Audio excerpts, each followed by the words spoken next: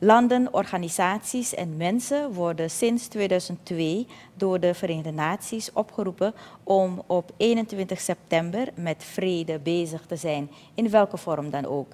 Dit zegt Loes Bemmel, de nationale coördinator van de spirituele organisatie Brahma Kumaris.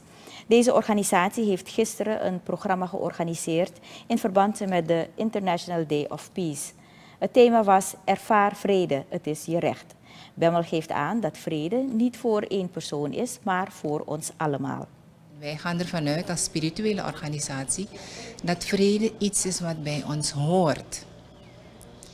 Ik weet niet of de mensen ermee bekend zijn dat dit jaar ook de 70ste verjaardag is van de Verklaring van de Mensenrechten. En dus vrede als recht wordt dit jaar herinnerd, wordt dit jaar herdacht. Dat is het accent. Um, we hebben allemaal recht op vrede. Maar eigenlijk hoort vrede bij ons. Vrede hoort bij ons als spirituele wezens. Als spirituele wezens willen we heel graag die vrede ervaren, beleven, omdat dat eigenlijk karakteristiek is van ons als spirituele wezen. Net zoals de zon warmte heeft en water koelte karakteristiek is dat. Net zo is het karakteristiek van de menselijke ziel is vrede. En dus in vrede, wanneer we rustig zijn, wanneer we gebalanceerd zijn, dan voelen we ons ook het best. Dan kunnen we het best presteren, we kunnen creatief zijn, we kunnen vrolijk zijn, we voelen ons vrij. Bemmel zegt dat iedereen van binnen moet beleven dat ze van oorsprong vrede zijn.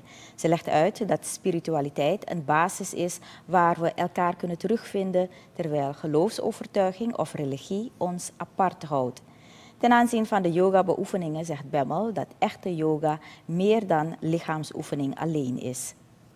Het is lichaamsoefeningen die je brengen naar een dieper bewustzijn en de connectie met je zuivere zelf en de connectie met je hogere zelf.